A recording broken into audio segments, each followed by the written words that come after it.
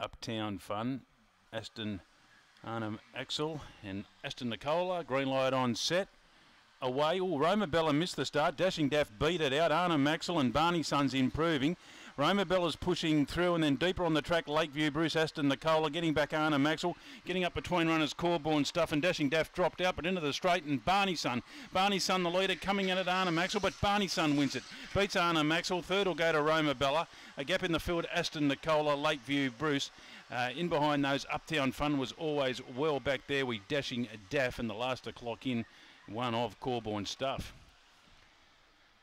Gone 17.99 in the first on the card here. 17.99 that time might be uh, confirmed. In fact, uh, adjusted it has been. 17.95 time adjusted. Five Barney Sun Favourite a touch tardy from the inside.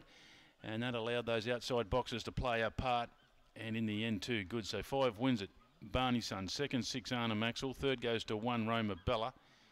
And fourth to eight, Aston Nicola.